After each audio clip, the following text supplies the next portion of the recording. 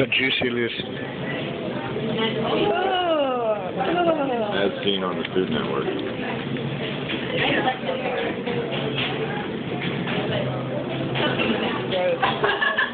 Yeah, bro. I got the local burger. It's uh, apparently organic, local raised, grass fed beef. Looks quite delicious. Now with bacon. Brought to you by Carlson. Rich, just hold that hold the burger up next to your head. It's about the same size. if you hold the burger out about this far, it'll look like it is the size of your head. I thought you said that.